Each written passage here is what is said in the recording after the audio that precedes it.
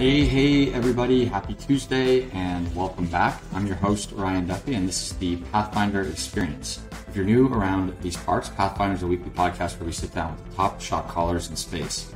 Today, we are sitting down with Bill Perkins, an energy trader, high stakes poker player, author, and the founder of SkyFi, among other things.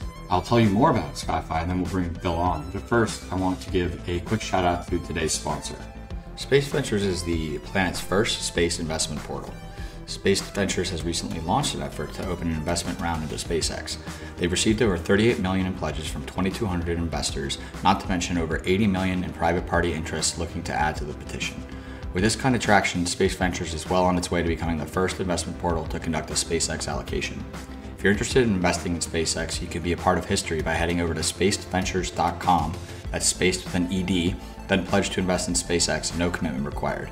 Check out their website, spacedventures.com, for more information. And as always, do your own research. This is not financial advice, etc., etc. Again, that's spacedventures.com. So, what is SkyFi? With a network of 70 plus satellites and continually growing, SkyFi is on a mission to democratize access to satellite imagery so that businesses can solve their toughest problems and individuals can explore their boundless curiosity. By creating a consumer marketplace for satellite imagery, SkyFi is the one-stop shop for Earth observation. The simple and easy to use process that allows customers, consumers, to order existing images or order a new image by tasking a satellite, all from the convenience of their smartphones. So this is a, a, very colorful conversation that takes us from um, life as an energy trader, working at the helm of the hedge fund, to wake surfing, poker, and aliens. Of course, plenty of space and satellites in the mix. I also want to add that Bill has set a new record for curse words on the podcast, previously held by me, and it will be tough for any of you future guests in the crowd to uh, to, to beat that record. Um, before we want before we dive in, I wanted to add a couple. Uh, th- there's there's some uh, abbreviations that we use. UX is short for user experience, and then API is short for app- application programming interface. All right, with that out of the way, Bill Perkins, founder of SkyFi. Let's bring him on. Thanks for having me. Good to be here. Uh, I really appreciate you doing this on very short notice for, for, for everyone in the audience. I, I basically reached out and you said yes uh, within 24, 24 hours. And it's, of course, election day and there's a lot, a lot going on. So we appreciate you being here. Yeah. Well, I voted early and I like to blather, so it, it works out. Yeah, honestly, uh, today might, uh, of any days, today might be a, a, good one to, to spend a little bit of time off of Twitter, but I don't know. That's just me. Yeah. So, yeah, just just hang out, relax. Yeah. Do other things. So, so where are you calling in from today? Are you in Texas? I'm actually calling in from Austin, Texas, oh, wow. in a room in the Soho. Okay. I'm I'm going to the Chris Rock show tonight. Uh, he's performing here at, at the Moody Center, so I'm gonna go see some comedy tonight. Gotcha. So we're we're uh, we're a couple miles away from each other, and gotcha. we'll return we'll return to Austin, but before I welcomed you onto the show, you know, I, I ran through your bio, but I want to ask you yourself. You know, we, we have we have trader, poker player, author, uh, VC, founder. But if you could choose just one word or title to describe yourself, what would it be? Oh, factotum. no, uh, factotum. Uh, that's jack of all trades. Um, I, I adventurer. You know, I'm kind of winging life. Just you know, investing in life, investing in life experiences, investing in companies. Um, so adventurer. Okay. Okay. What was the first one? Factotum. I've never. I don't think I know that. Factotum. That's. Uh, it's a person who's good at many things. A jack of all trades. Okay.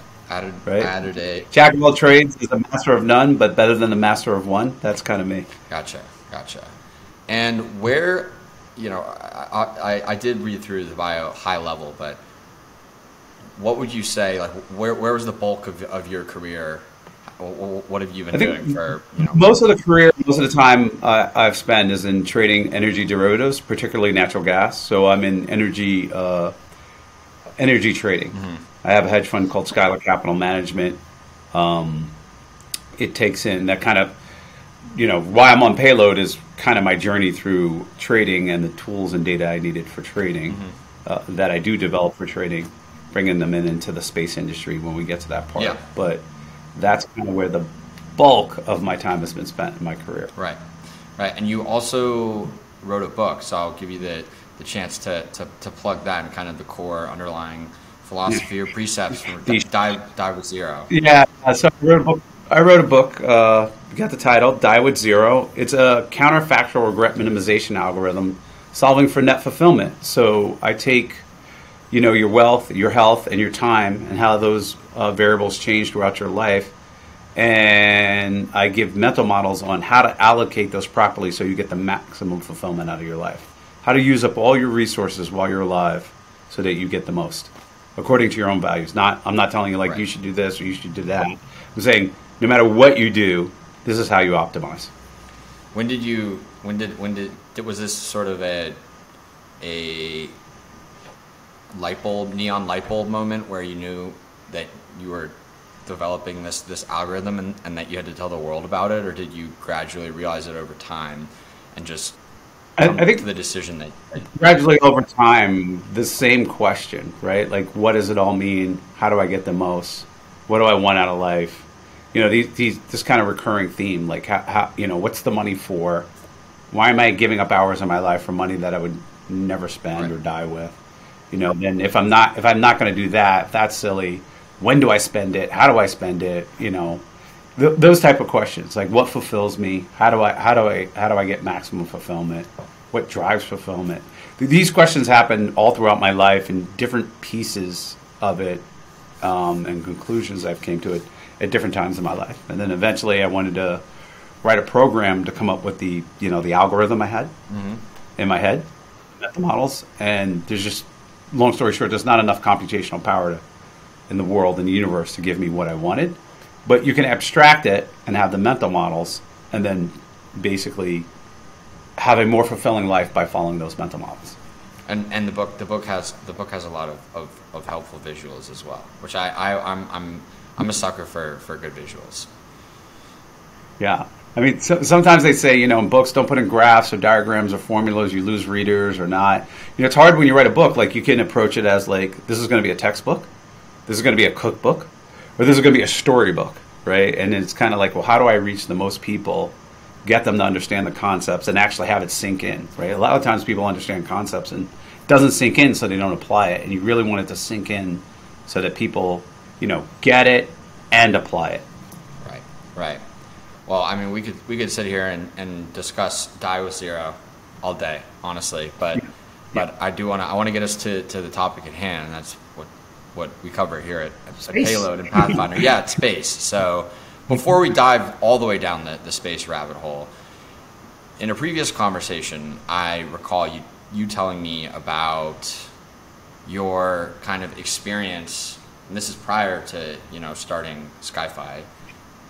Your experience buying satellite imagery in bulk and and just kind of dealing with that that sector for the specific you know I, I don't know for, for the alpha or, or alternative data that you were trying to get as, a, as an energy trader. Can you kind of walk the audience through high level why an why an energy Okay. trader and you know I, I, of course for for for our our fans and listeners who who are working day in and day out in the EO industry that might be pretty clear and apparent why why you'd be buying that but but for those who might be coming from other parts of this, the space ecosystem Okay. Well, trading is pretty much value add on information, right? You, you hoover in information and you make a decision about how that's going to affect whatever you're trading, whether it's apples, bananas, natural gas, oil, whatever, stocks. And so there's there's lots of variables that sometimes we're guessing about what they are, and, and, and it's educated guessing. So it's a guesstimate or an estimate, etc. And um, you know, traders buy all kinds of data streams that subscri- subscribe to services, et cetera. They use their brains to take that information, have some sort of model, and, and it becomes actionable intelligence, and they do whatever they're going to do in the market.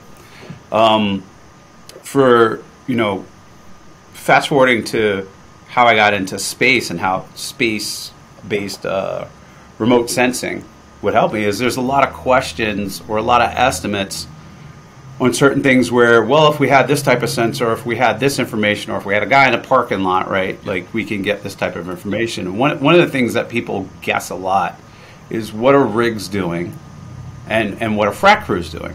And, you know, people call around and ask and try and come up with an estimate. They, they, they use other types of data, et cetera. And, you know, my, my, my thought was like, wh- why are we doing these educating guesses when we can take photos and know? That was my theory. Like, there's there's this satellites all over. Yeah. They're taking pictures of every single square inch of the Earth. We've we've we've gone to the school of hard knocks on machine learning. We can program this so we can, you know, it's not like I'm going to be looking at the pictures, right? Like there's going to be a machine looking at the pictures and grabbing them. At the same time, uh, I became familiar with SAR or was introduced SAR in the uh, Synthetic Aperture Radar Journal and learned about kind of like what that's used for and the reflectance and Sentinel-1, there's this free data out there, um, you know, every seven days in the United States, where if you build a data fusion model, your optical model, plus your SAR model, your your uh, your accuracy goes way up, right? 98%, 98.5%, right? And so you start to get interesting questions asked with a level of detail and precision that's just not available. And the question is, is it worth it? Is it, is it, is it, is it economic, right? Is the value, are you going to be able to make a return on that information someday in the future, right? Is going to help you make better informed decisions. And so we went out to acquire satellite data in order to build this model. Yeah. And, um, you know, that was a very painful process, an extremely painful process. You know, it wasn't like showing up at a store, I need a three inch socket wrench, so and so, paying for the, you know, it's like, call, oh, we'll call you back, somebody, whatever. What's your use case? What do you mean, what's my use case? Like, who goes to buy a hammer mm-hmm. or a saw? you know what I mean? Like, Yeah. we- you got to your use case before we sell you the hammer. Right. Right. No, I'm not gonna tell you what I'm gonna do with it. Right, right. Like, what, what, what is this? Like, get out of my business, right? But it's pretty much the satellite industry, right? Like, they want to know what your use case is, right? And there's this long sales cycle, and it's not a long sales cycle because traders are instant, right? Like, tell me the price. I want to buy the thing, and if the price works, I'm going to buy the thing, and I don't want to talk to you anymore. Right. Presumably, right? I got to go it's- trade. it's- There's not human. There's not humans in the loop, right? Like you want to be Right, like I, like not humans to be in the loop. I'm like, okay, it's unfortunate uh, that I have to like make a call. You got to call me back. I got to talk to a human or whatever. But um, not not only was that an issue, there was kind of this opacity around the pricing. Right. Right. What's the price if I buy this much? The volume discount. You know, it reminded me of like buying a used car in like 1990. You know, it's this kind of like really uh, opaque, um, long, pro- longer process than it needs to be. Yeah. You know, Yeah. uh, as opposed to, you know, a technology. Like, I, I- you know, I'm used to order something online and it shows up your house. I can order a bed, a car. You know, I bought cars online. My friend bought a doctor's building in Texas on LoopNet online. Never saw the place, etc. In in like two days. Right. You know, and so here I am spending three months, three and a half months to cut a deal for for it's like well what's your area of interest you know well it's the whole united states of america oh we don't have that we might have seg you know it literally was kind of like whoa you know I, I had the the the legacy effects of being a business that was entirely dependent on government or, or contracts or deal structured around government and government RP, RFPs and so I quickly realized this is a government technology focused business, not a customer focused business, Yeah. right? Yeah. And so, and and um, that was frustrating. Yeah, yeah. Well, I mean, I, the, the, that's the whole thing with the satellite industry, right? Is like, like, like, or satellite imagery is that all of the pricing, to your point, for for you know, not for everyone. Um, I don't want to speak categorically, but it's like bare, it, it, it's a perennial pain point. You have to go through like multiple sales conversations, and like the, the pricing is like basically spec to your specific situation and your needs and and I I think you know there, there are other uh, there are like like SpaceX is probably the leader in, in terms of transparent upfront pricing. Like you can just see how much it would cost to book a Falcon 9, whereas I, think you know like for satellite imagery, it's all still for, for in, in a lot of cases, it's still very much like bespoke and, and, and tailored to each end user. Yeah, it's it's it's, it's you know I'm not going to get into reasons why, but you know I speculate like they're trying to take something out of your value chain. It's like there's the value of the image, right? There's a base value of the image. You provide a service, you have a margin, but it seems like if you're doing something of high value, they're going to try and like get into your value chain, right? Into your value add. And I'm like, you know, I'm the trader. You're not. You're slinging images. What's the slinging images price, right? Like, don't go. Oh, now he's doing trader, so he can make millions of dollars. Try and like charge me more, right? And, and they get, they get away with that with the government, right? Because the government Right. really nobody. It's nobody's. It's nobody's. Uh, it's tax dollars money, Yeah. right? It's the taxpayers' money. Why did I care, right? It doesn't hurt them. Yeah. And um, you know the the these these big overpriced contracts. You know, uh, yeah, we give you most favored nations, but the technical specs are only a little bit different. So, you know what I mean? Like it's it's never no, most favored nations. It, it's it's very it's very weird, and I think you know it's starting to shift because there's more competitors going on. Everybody's launching. Lost costs loss costs are coming down.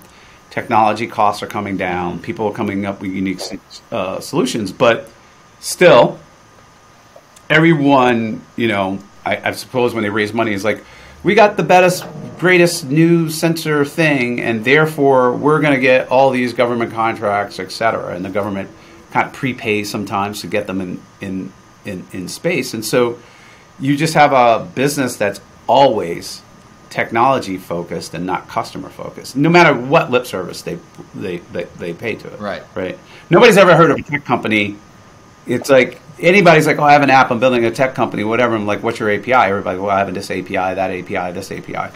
You go to satellite operators, they're like, we, we don't have an API. Right. Based on based Every single one. Oh, it's coming. It's coming. Coming in a year or whatever, right? based on the the status quo, like for for energy specifically, uh, energy, oil and gas.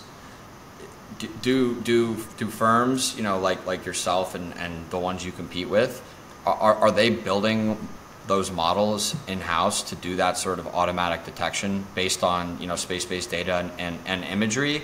Um, you know, I No, I'm- I mean, it- I mean, so I build a lot of tools in house. I have programming expertise, et cetera, and it's like I think we can do this. And then that peeled out, and they were like, you know what? My CTO left. He went to a company called SynMax, and they're like, we're going to sell this product to other people because they're not going to go build it. Yeah. They're not going to go deal with the hassle of dealing with satellite operators. I mean, there's only a few operators that have an API. Right. Right. Planet has one. They're fairly new. The newer guys have one. But they're not gonna they're not gonna go do that, right? Like they are going to wait for somebody to deliver that service to them, right? They they can't they have other problems to solve, other other verticals, and they're necessarily they you know I got to train the models, I got to make sure the models work, I got to I'm taking risk in developing this tool, right? And it's a pain in the butt Yeah. buying a bunch of satellite data. So um, I'm unaware of any energy, energy firm that's using that. Like I know of people that are using free SAR data, and you know it's only once every seven days in North America as opposed to daily in Europe, right? But to try and like estimate crude oil stocks or whatever they're doing, right? But Sentinel had a had an error that went down, and therefore their models went to shit. And they were never that good anyway because you really have to purchase data. Uh, you know, you get free data. You, you know, you kind of get what you pay for, yeah, right? Yeah. Uh, it's nice to it's nice to fuse it to to increase the accuracy of your program, but you need to buy data specifically specifically with this pro uh, thing to actually look at every single well pad in the United States of America to figure out is there a well on there, is there a rig on there, is there a frac crew on there, et cetera. Yeah. You have to build. You have to train your models. Like this is what uh, you know, frac crew looks like. This is before they start. This is while they're fracking, and this is after. And you follow the progression. And so, you know, not everybody has that skill set. Not every, even if they have that skill set, they don't want to dedicate their resources to that. They rather just pay somebody to do that. You know, and I, I say sometimes you want to cook at home. Sometimes you want to order from a restaurant. Yeah, yeah, Right? yeah, definitely. Most most firms are like all that crap will go to the restaurant.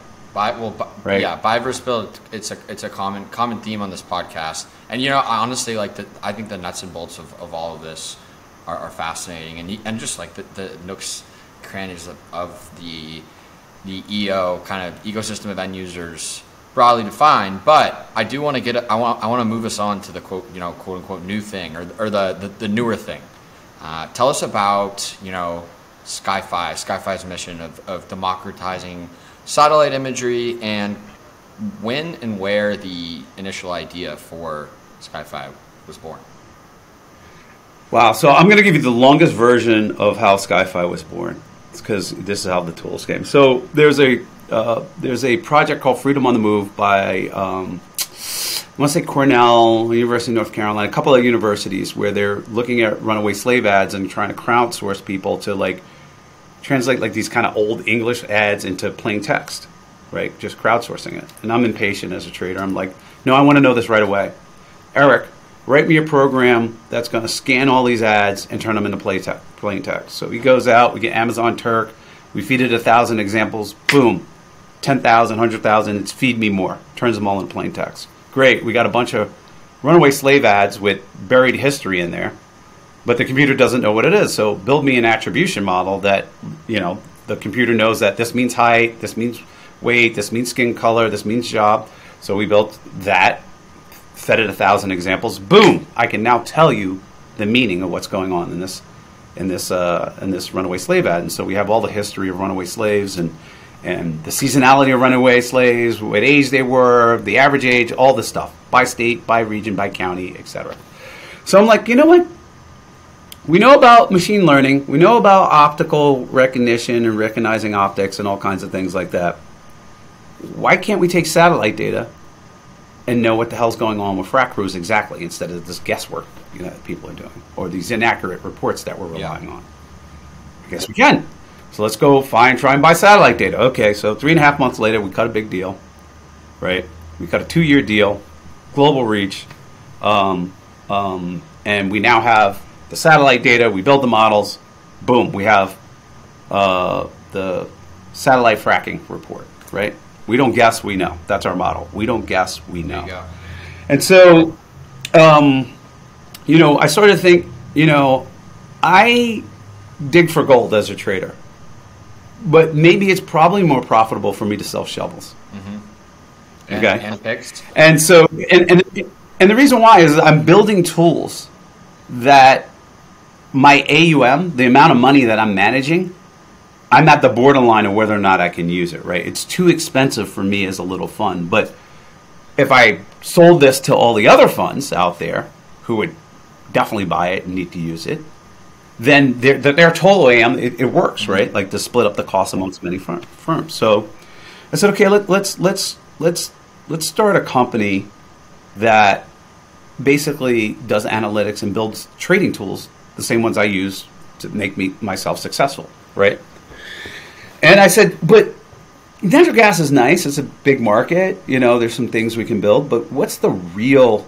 Where's all the value at risk, right? Like if if if my, if the argument is like, hey, my fund is too small to buy and use this tool to make money because even if I get a good signal, I can't put on a big enough position to make you know to make any return, mm-hmm. right? But a multi-billion multi-strat can, right? And I says, well, where is the most value at risk just generally in the world? And it's and I came to the conclusion that it's on the ocean. Okay. I think it's like 80, 90% of the world's GDP travels on the ocean. Then plus there's the, the just the life value of the ocean and illegal fishing and pollution, etc. Uh, crossing borders, illegal immigration, sanctions violations, piracy, vessels, yeah. uh, you know, you know, et cetera. And I was like, well, what, what, what do they need to know? They want to know where pollution is. They want to know like fish populations, migrations, um, despeciation, illegal fishing, you know, sanctions violation, military actions, yada yada yada yada. Right. So the, the, the it's like this massive, massive value at risk. And I said, the one of the biggest problems is one, tracking all this, and two, ships that avoid detection doing nefarious activities, which is the dark ship problem, right? So I'm like, we are going to build, like we build all the time, data fusion, a data fusion product, product that is maritime omniscience. We're going to know where every single dark ship is and track them. Not only are we going to know that there's a dark ship, we're going to tell you exactly what that ship is, attribute it, tell you what history is, etc. So this big, hairy ass goal of building this model. So before, you know, when you're building a model, you need a lot of data. You got to feed your model a lot of data. So I'm running around uh, trying to buy satellite bucks, like buy satellite bucks, like $250,000 worth of SAR, half a million dollars of optical, maybe some RF, right? Buy some RF, uh, uh, some hyperspectral if you got it. Give me what you got. Let's figure out how we're going to solve this problem. Like so, without going into the weeds of how it's solved, etc. I'm becoming extremely frustrated. Right. That, that, trying to buy I feel like Like, I'm, I'm, I'm I feel like we've become full, we've, we've come full circle to, to your earlier point about just the frustrations. Yeah, yeah. I was I was frustrated in the beginning, but now I'm ready to pull my goddamn eyelashes out. You know, I'm I'm sitting here trying to give guys a quarter of a million dollars, half a million dollars, which like when I did the math on these guys' revenues and what's going on, like this is a significant piece of, of money, right? But it's still taking back and forth and in-person meetings and and you know what's your use case and you know all, all kinds of things to get a contract. And like obviously, I'm not buying the satellite data just for me to look at the picture.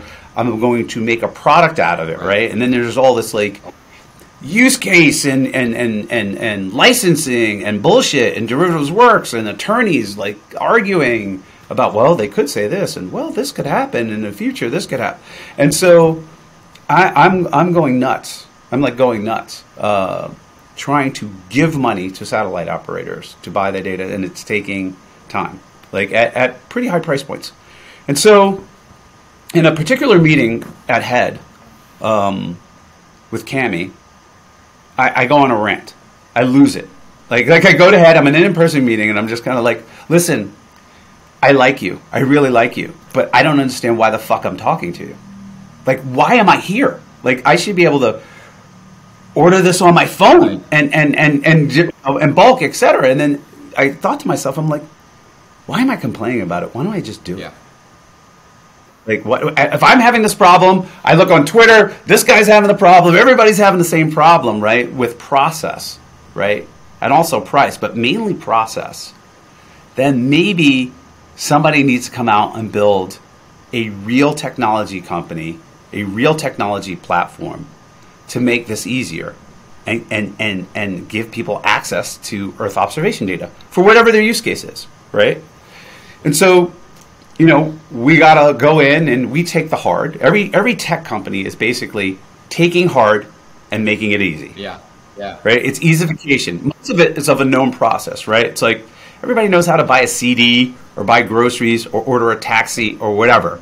But Amazon, Uber, you know, Spotify, these things, these guys make it easier for you. Everybody knows how to go to a bar and get on a date, etc. But Tinder makes it easier for you, right?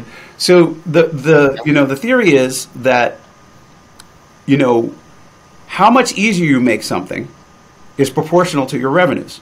Uber makes something just a little bit easier, but the revenues explode. That doesn't mean they're going to be profitable, but the revenues explode, right? Amazon makes it a little bit easier, but the revenues explode, right? Tinder makes it a little bit easier, maybe a lot easier. The revenues explode, right? We're taking something that, for most people, if I walked up to them and I said, "Here's here's ten thousand dollars, go get a satellite image. You have four days, or you're dead." Most people will die. Hey, call percent of people are going to die. The rest of people, Yeah, call your loved one. yeah, yeah, yeah. It's over. Lights out. It's gone. You know. We'll call back to you. We'll get back to you. What's your use case, guys? I'm gonna die.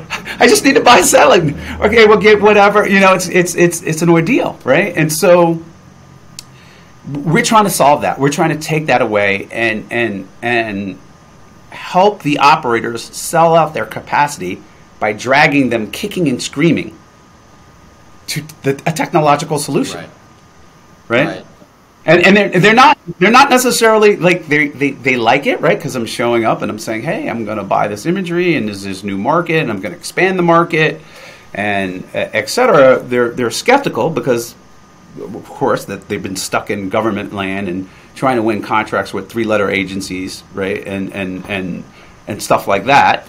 Um, and you know kind of the commercial is kind of like an afterthought but the commercial's kind of growing, and and some of them like I see it, but I don't see you going all the way down the chain, right? Like from the prosumer down to the cons- Yeah, consumer, right? yeah. Like they just don't see That, it. that was my. I mean, that, Yeah. that was the, my, my. Innovation requires early stage funding, but space startups don't have many options. Space Ventures is our world's first space investment portal offering direct access to investment deals and letting you back innovative space startups. Space Ventures has launched an effort to open an investment round into SpaceX. 2,000 investors have pledged to invest more than 38 million so far. The more investors pledge, the stronger the chances for SpaceX to conduct a community round on Spaced Ventures. You can be among the first retail investors to have the opportunity to invest in SpaceX by heading to their website and pledging to invest. No commitment required. Check out their website, spacedventures.com, for more information. my next big question.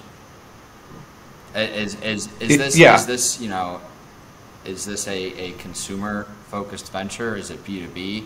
Is it is it you know a mix of, of both? And I, and I know it's- it's, it's you know you, you're you're in, in alpha right or you're in beta now and, and production is, is slated for sometime next year. So you know I don't want to force you to an answer and and as as things change and as as the I mean, we we have people that like, hey, hey, we don't want to use the platform. We want to use an API. There's enterprise people come like, we just want an API, and yes, we don't want to deal with the pay- chaos of dealing with five different people. Like nobody wants to go to the ice cream store, then the toilet paper store, then the chicken store, right? They want to go to the grocery store, right?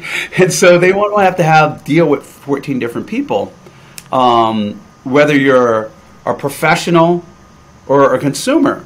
And so, you know, people like I get this question like, "Oh, well how how what what about government contracting or with the government or an enterprise contract you?" I'm like, "How does a government contract with Amazon? They just fucking use Amazon." Right? The app is for everybody, whether no matter how big you are or how small you are, Amazon is there. How does the government contract with Uber? They just use Uber, right? Yeah. Everybody can use it, whether it's a, a large corporate account or with multiple people on one credit card or just the individual. They just use Uber, right? And so, you know, that's kind. There, there may be some additional tweaks or APIs or custom APIs for like, hey, we're we're going to do lots of volume through you.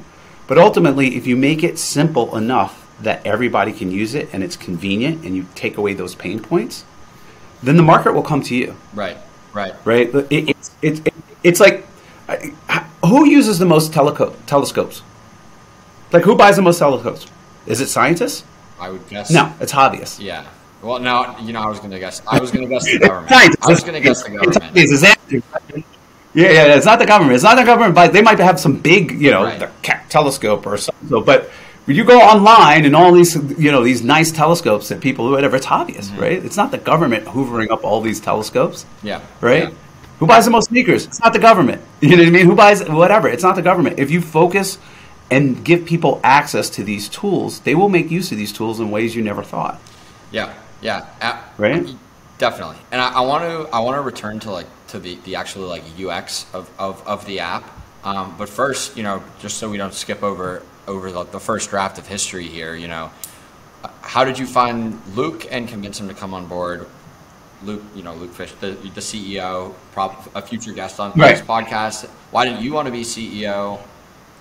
Raising capital, you know, what, uh, external capital. What was that process like from the other side of the table, so to speak? I, I, I can keep going, but Right. That's three right there. So Oh yeah, yeah, the three. So, um, so these two companies, SynMax, which is value add on data, and and SkyFi, which is democratize and get the data, easify the data into everybody's hands, whoever needs to use it. Plus, you know, application layer, storage layer, etc., community layer. But um, we, we separated these two out, and it was getting to point like I need to raise some money. Mm-hmm. Probably need to raise some money, so I you know get on calls, tell people the concept and the ideas, and people are like, "How are you going to do all this, Perkins?" You know what I mean? You, you, you're you're trading, you got this company, you got that company, you're playing poker, you're traveling, you know, you're, you're writing book, wh- whatever. You're on podcasts for books, etc.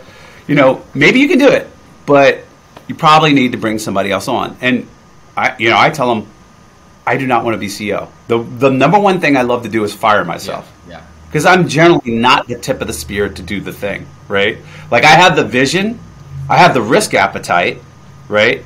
Uh, and in certain areas, I am the tip of spear, but generally, I'm not going to be the CEO, right? So there was a uh, CEO Hunt, uh, Josh Baer, Capital Factory, uh, Nikhil, uh, ex Uber was like, "Oh, I'm in with Uber Mafia." Right? There's this Uber Mafia out there. He's like, yeah, that that that the, you know ex executives, et cetera, and also that are running around that uh, you know people know, and and they quickly got it. Like the Uber people quickly got it. Like they got the concept, they get the marketplace idea. Right. There's analogies. They get the user. There's analogies that could be. Brought. Yeah, the analogy is right there. They get it, and so you know there was this process, and they said, I think I think this guy Luke Fischer is going to be a fit. Luke instantly got it right? He got it. He was excited, saw the vision, saw the purpose of the vision, right? It's not like I don't care about slinging images, right? Why I care about satellite imagery and Earth observation and democratizing that is that if I get that into the the common person's hands, the geniuses of the world will be able to have a significant impact on the world, right? In ways I couldn't figure it out. Like you can't beat the mob, right? Mm-hmm. Like and so that's what I'm trying to do, right? Like the Apple computer, right, and the app phone, like Apple cannot be the app store. They are the app store in terms of the platform, but they cannot be all the apps on there, mm-hmm. right? There's multi-billion dollar companies that are apps started being on the iPhone and Android, right? The, and so that's their platform allowed the creative juices of other people to come out and create value for society, right? So if I am able to create a platform, get this information in the hands of the geniuses of the world, we're going to start solving some intractable, prob- intractable problems in the world, very difficult problems, whether it be pollution, illegal fishing, uh, uh, whatever, crime, who, who knows, right? Despeciation, greenhouse gases, methane emissions, things I can't even think of, right? Deforestation, right? So, so that's that's what I care about, right? And this this is happens to be a UX company with a vision of changing the world by democratizing the access of Earth observation. Luke gets it. Mm-hmm. He gets the business plan, the profitability, and the and the long term vision. And so, um, you know, his his history in, in, at Uber and also in the military uh, uh, and, and a tech company you know, it was easy fit, brought him one. I was glad I was fired. I'm fired. I get to be vision guy, vision guy and investor, you, you know, and, and, and, move on. Right. So that's that's the loop question. Right. Um, well, the other questions well, were the the I think I think we we hit on the other questions, and just because I don't want to lose this thread, you know, you mentioned you're a UX company, and so I would I would venture that everyone you know you've recruited to date Uh, well, I can't speak to everyone. I don't know everyone at the, at the company, but, but it seems like a lot of your recruiting has been concentrated not necessarily within traditional space backgrounds. I'm, I'm assuming you would argue that that's a competitive strength because you know you're you're yes. you're tackling you're looking at this outside of the box. I don't want to just answer my own question, so I'll turn it over to you. Right. Yeah, I, I would say that you know this is a software problem, right? So a lot of times we you know we have partners and they get it. They're like, look, we're not completely sure about this whole big market that you think is untapped out there, but you're willing to put some money up. We're going to build an API. They got like two programmers that are usually working with satellites, and they realize, holy shit, building the API is tough, right? Like, it's a different skill set, right? These guys are technology focused, right? Orbital science and you know friction on the satellite and low Earth orbit and optics and stuff like that, and writing software is very, very hard. It's not, it's a non trivial thing. And so we focused on, like, hey, what are the pain points? How do we design a user experience that is fantastic? And then hire the programmers and designers, et cetera, on top of that. And we don't care if we're selling CDs, marshmallows, couches, whatever, or imagery. It's the same concept that goes in there, right? And so we're deep in programmers and designers we have about one space expert. At, at first, now we have like two or three, but one, which is Cami, uh, in the company. And so, you know, you don't want to come to a broader market opening up and saying, hey, we're going to create be customer focused with a bunch of technology focused right. people. Yeah. These are just different different skill yeah. sets. Yeah, and you know, behind the scenes, of course, with the the API and the back end and whatnot, and, and obviously all of the, the, the satellite partners that you've you've announced, and I'm sure you will announce down the road.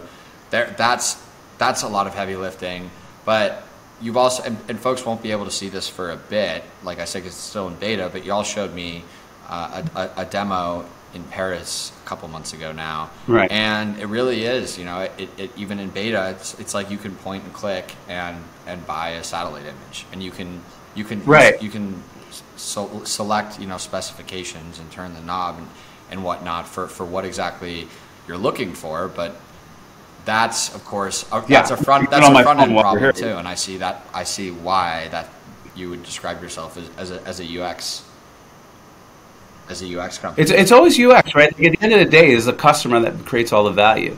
Like a lot of people get fixated on like I have the thing, and I'm like, you know what? Anybody can build the thing, right? I can buy a satellite in orbit for X dollars, right? There's there's you know everybody thinks they're secrets. Everybody thought they had the best TV, and every year it's the worst TV. Like a year later, two years later, it's like, oh my gosh, this crappy ass TV, right?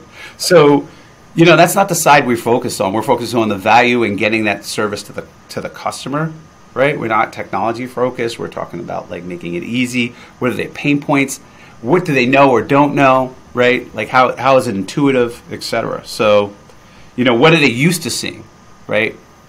You know what is what format would they like this information delivered? And, and depending on your expertise that might be different you know the desktop version versus phone version etc Yeah. versus api version. But it's always always always always ux UI. right, and I, well, I mean, I user experience. I, I would stress that that is again quite a bit of extra heavy lifting from the get go to be building this on mobile to start, just because, because that's not a form factor that people have have traditionally you know engaged with with, with satellite imagery or, or, or satellites um, broadly speaking. But while we're on the mobile thread, a- and, and you know I, I know that I'm going to like your answer because we have this in common, but uh, it does it, it strikes me as non-obvious to be building an Android app while you're you're also building an iOS app as you're just in, in beta. What is the what's the thought process behind building the Android app? And just so everyone knows, Bill and I both have, have Android phones. Yeah. Well, We're- we're one, one is is that you know, uh, Apple may dominate in the United States of America, but globally, Android is the operating system, right? And we're a global company, and so a lot of people get myopic with, oh, you know, I'm just going to build an iPhone, you know, because maybe they're in the entertainment business, and entertainment consumption here is greater in, in Europe, and they have iPhones, et cetera. But like, if we're going to be a global company and be accessible. And we want people to have a user experience. We don't want to cut out 60% of the globe or 70% of the globe or whatever it is Yeah. right? And so, um, you know, it's it's a bet on the market, Yeah. right? We, we didn't we're not coming in timid. We don't run it. We, we're coming here. We're betting the come, right? We we came here to win. We believe that the the opacity of this market, the the the the process of this market has thwarted people from getting data and, and we, we constantly hear it like oh if i had this data if it was easy i would do this or i could do that or i could do this well, what if you can click on your phone Yeah. then you know it's, it's really just behavior design like behavior is a convergence of motivation ability and a prompt motivational speakers focus on motivation but motivation goes up and down. Technology companies focus on ease. One click buy swipe left right? Delivered to your doorstep. Credit cards already loaded right? Notification easy to see right? The more the easier it is the more likely the behavior is to happen right? And i tell people here's a simple example of it. A lot of people are on their phone all night when they go to bed. I said go ahead and put the phone in your bathroom less than five feet away you won't get up and out of bed to go get on your phone mm-hmm. you'll solve the problem by making the difficulty just that much more difficult right it doesn't seem like that big of a deal mm-hmm. but it'll solve the problem of you being on the phone. The, the, the, the reverse is true with, like, let's take that to satellite imagery. All the obstacles, all the phone calls, all the, all the, all the frustrations. Like, it's no wonder that they don't believe that this market isn't here or this demand isn't here. Because all the obstacles and frustration points, the pain points. It only takes a small change in difficulty for a behavior to happen or not happen. And technology is all about removing the Yeah. difficulty. Yeah. A, um, a fancier way that the tech industry likes to say that is abstracting away the complexity.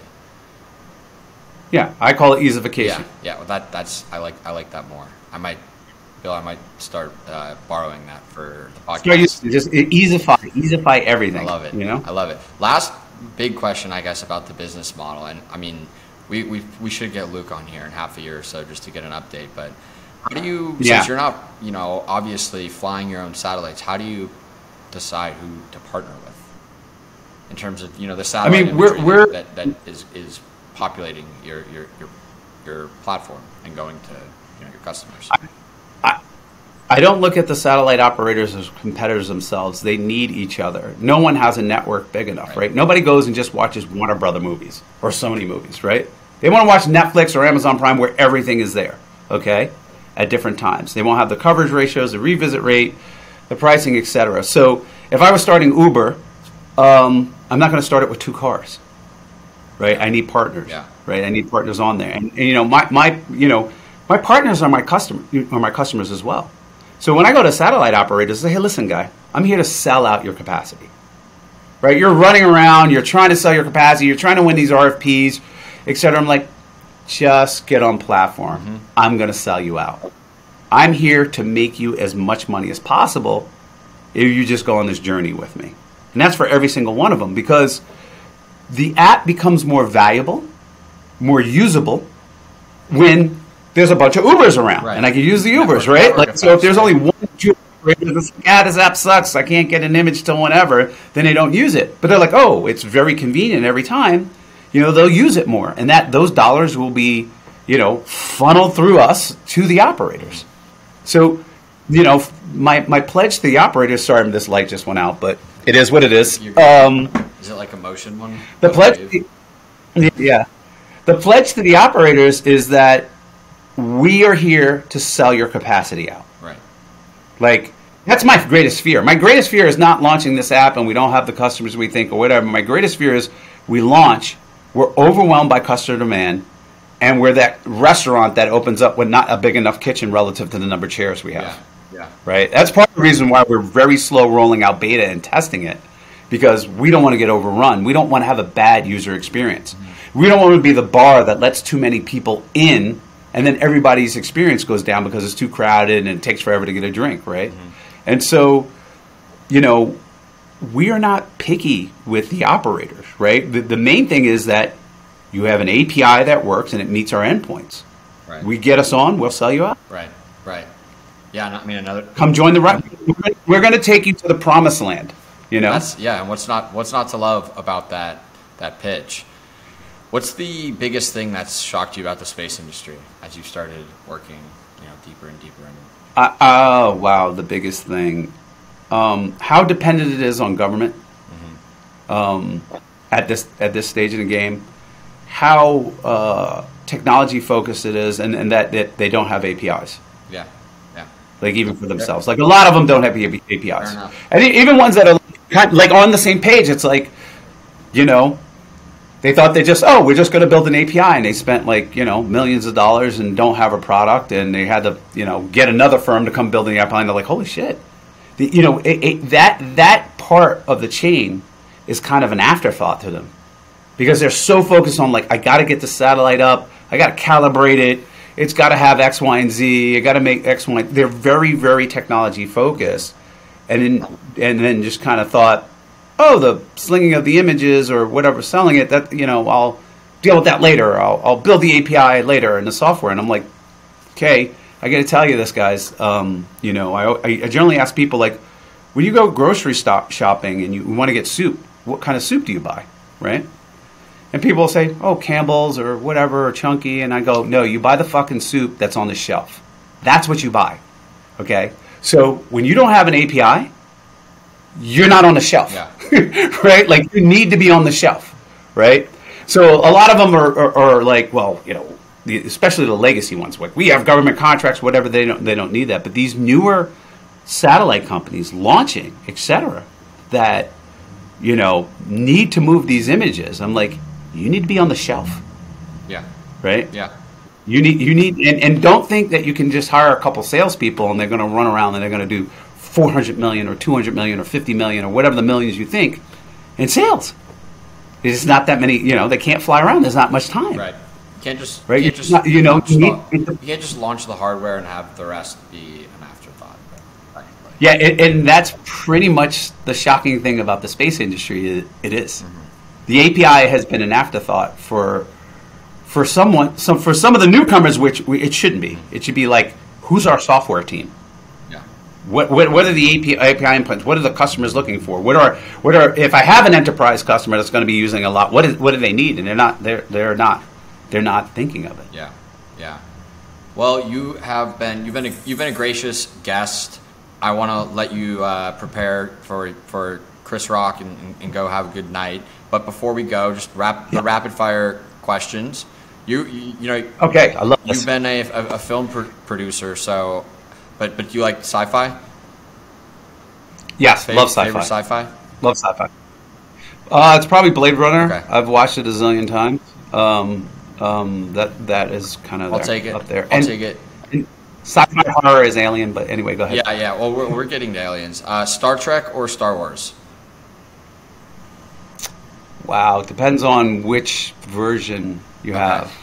I'm a I'm a fan I'm a fan of the old school tar- Star Trek, and probably Empire Strikes Back is probably one of my favorite favorite movies. And this is so unfair of me to put this in the rapid fire section, but what are your thoughts on the age old question of are we alone? Wow, that's really um. My, my, my, my, my answer is doesn't matter when you can't travel at the speed of light There you go. or near the speed of light. There you go. I, I, don't, I don't know. I, I mean, I, I would say the answer is we are not alone, but it doesn't really matter. Right. What would you be doing if you weren't in your line of work? That's also a difficult one for you because you have multiple lines of work. Yeah, I have multiple lines of work of what I would be doing. I, I think I'd be a farmer, Okay. just like kind of gardener, Maybe. farmer, Yeah. and a traveler. Yeah. A gardener and a traveler. And then last one, I actually just thought of this uh, towards the end of the show, but what's the funniest or most bizarre, I suppose, image that you have bought on the SkyFi app? Well, I mean, it's in beta. Um I don't know if it's bizarre. I bought an app, a picture of the Coda. I bought a picture of the. Uh, so I think not bizarre, funny, but as a gift, I have a friend whose name is um, Rick Lowe. He's an artist. Um, he's been, his whole thing is uh, culture is art, preserving spaces and, and living is art. And so he started painting. And his paintings, I'm gonna give away some of the secret, but like his paintings, if you look at it, it's very abstract view of like city maps, etc. Right?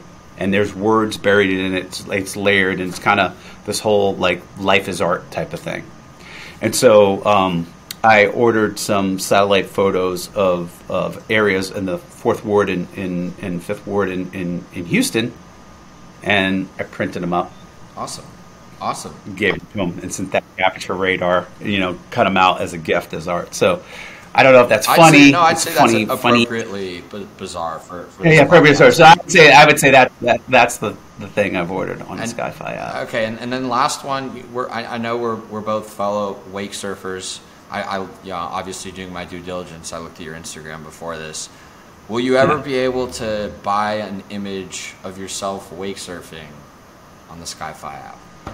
That would take a lot of So- techn- technology. That would take a lot of timing. That would try to get the timing right. But, but I mean, I, I'm out there all day, right? So like, I think the timing we can get, we can get it right. We will have to revisit rate to get it. I think when Albedo gets its 10 centimeter up. Oh, there you go. On a, that's an Austin to Austin connection right there. Yeah, I think I'm gonna be. I'm gonna order me wake surfing, and we're gonna, you know, I'll be like a little, little couple dots or whatever. But you'll you'll make out my boat very nice. You'll make out the wake very nice. You'd be like, those couple of dots are Bill Perkins right there, you know, surfing. That So well, that's it. I think we will. That is a great note to end on. Bill, thanks so much for the time and for coming on the show, and enjoy the other show tonight. Yeah, thanks. Thanks for having me. I really appreciate it. All right, that was fun. Uh, that'll do it for Pathfinder 0024. I definitely had trouble keeping up, but was not bored once during that conversation. Uh, for those of you out there who, who have the need for speed and listen to your pods at 2x speed, I hope you didn't do so for this episode. If you did, uh, RIP. Anyways, if you like what you heard, leave us a five star rating and review on your pod platform of choice. We work really hard on these newsletters for your ears, and those ratings and reviews can really help move the needle and get this to a wider audience. Pathfinder is brought to you by Payload, a modern space media brand, while we have designs on becoming the biggest space content company in the galaxy.